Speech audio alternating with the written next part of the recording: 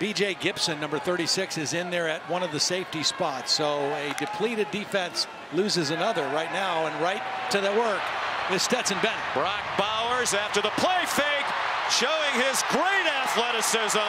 He's going to take it all the way for his third touchdown of the game. 78 yards.